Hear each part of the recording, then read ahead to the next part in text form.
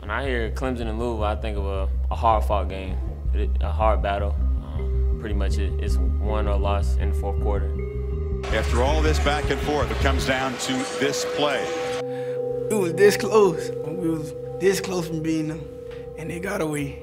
Gardner rolling to his right, on the run, throws, incomplete, and Clemson holds. Can they cash the lottery ticket? And it is a no. Clemson wins it. Jackson flips it short, Quick,